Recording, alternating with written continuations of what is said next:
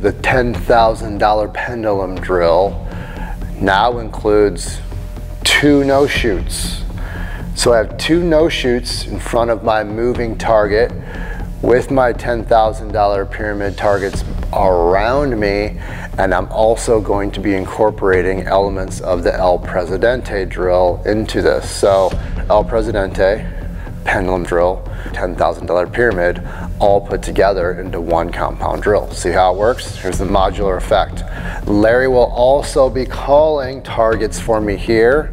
He'll also be calling a reload. So what I'm doing with the El Pres version of this, when the bag is on the right of the no shoot, on my right here, I'll fire two rounds.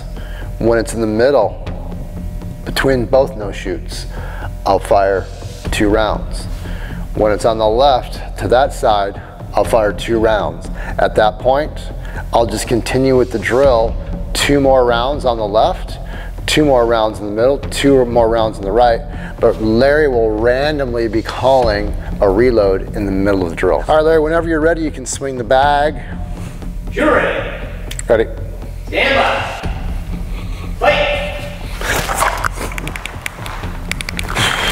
Contact front.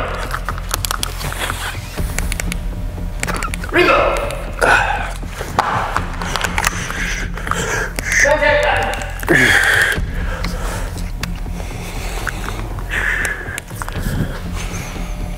All right.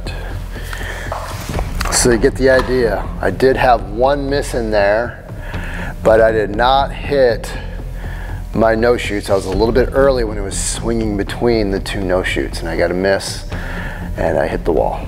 But it's going to happen, right? Not everything's going to be perfect all the time, but you get the idea. I promise you, this is an awful lot for you to process, but give it a shot. Have some fun with it.